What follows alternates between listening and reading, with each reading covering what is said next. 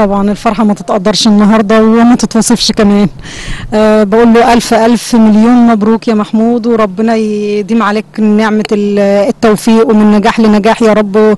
وإن شاء الله نشوفك في أعلى المراكز بإذنك يا رب.